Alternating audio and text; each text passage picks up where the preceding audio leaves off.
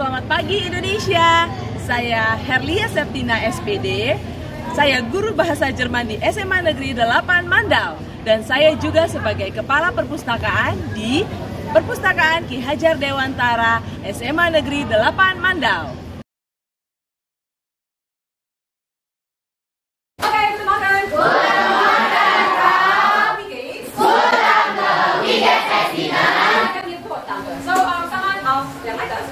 Silakan di, äh, silakan. Kasih, silakan.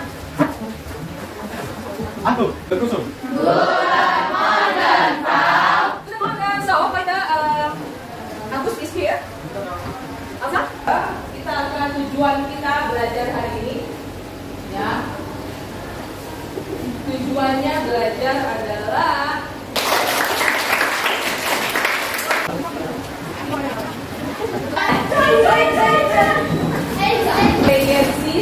sama sama-sama. Sensi Oke, so. Wir sprechen über Modal. Okay, so we haben äh, das Video gesehen. Ja? So, was ist Modal Verben? Sorry,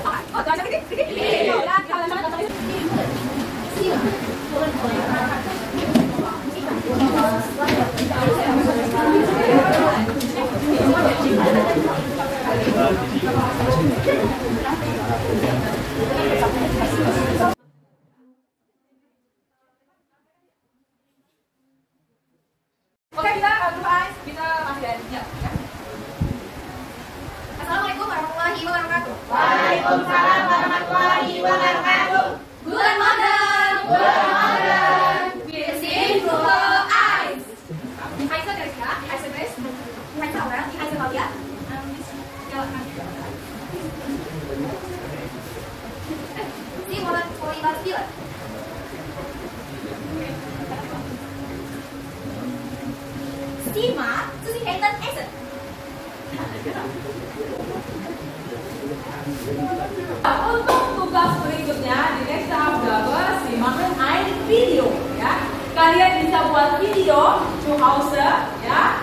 Ya, oke.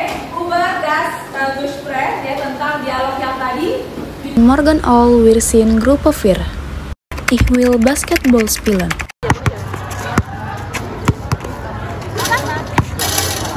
Er mag.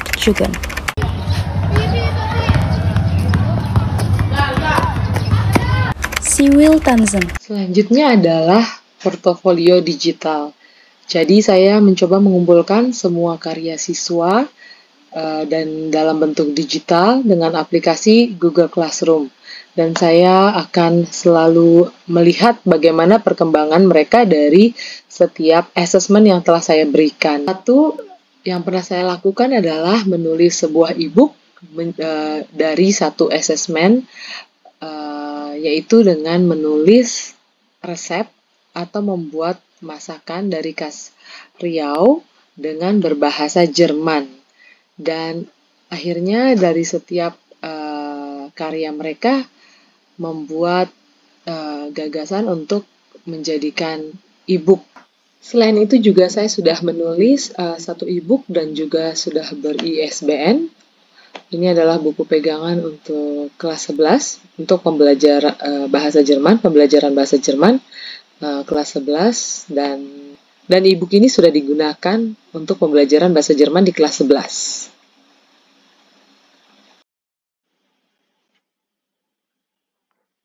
Saya sebagai Kepala Perpustakaan Ki Hajar Dewantara dan saya juga mempunyai tugas bagaimana memajukan literasi di SMA Negeri 8 Mandau.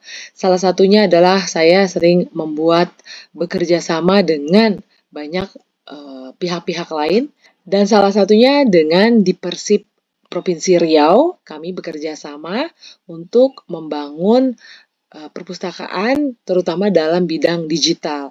Dan web ini adalah perpustakaan berbasis digital yang di mana semua sudah bisa diakses dengan uh, internet. Dan saya sebagai kepala perpustakaan mempunyai visi misi di dalam uh, yang dituangkan juga di dalam web ini. Dan salah satu program Uh, perpustakaan juga kami memilih duta literasi dari anak-anak peserta didik. Program salah satunya adalah podcast sekolah.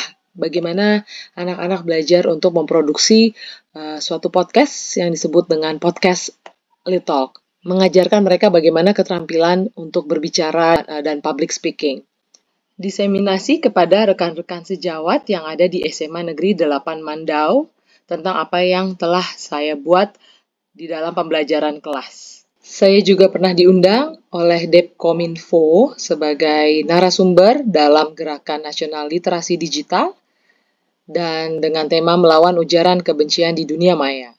Dan saya juga sebagai guru penggerak angkatan 6 dari Provinsi Riau, Kabupaten Bengkalis, dan uh, karya-karya saya atau program yang telah saya buat telah uh, saya bagikan menjadi hal-hal praktek baik kepada komunitas yang ada di sekeliling saya.